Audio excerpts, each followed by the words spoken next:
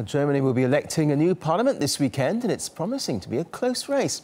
With no party heading for an outright majority, coalition talks are likely, with outsider factions possibly having a decisive influence on what the Bundestag looks like come next week. RT's Peter Oliver attended a rally of one of the parties that is now unexpectedly set to make a crucial difference.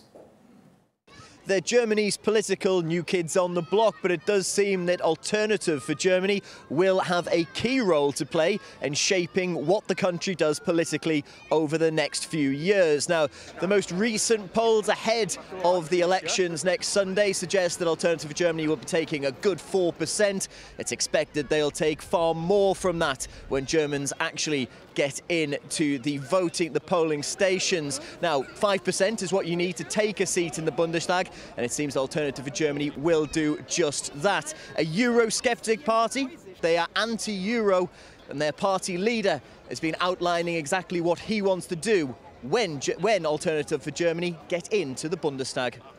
Well, you know that we're Eurosceptical, skeptical with reference to the common currency. And then we have a number of other issues, like, for instance, our energy policy or like the instability of our social security systems, like the issues of uh, immigration and integration into Germany, like the issue of education. So these will be the, the issues we deal with in the next four years.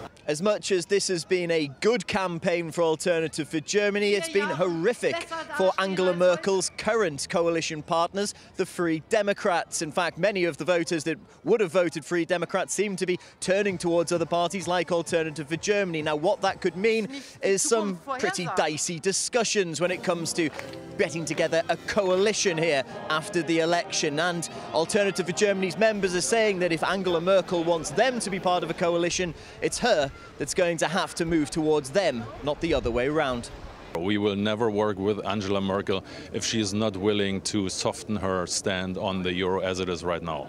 It would be a real upset if Angela Merkel wasn't returned as German Chancellor after Sunday's ballot, but it does seem that after the votes have been cast, the real political wrangling will start when it comes to forming a new coalition here in Germany.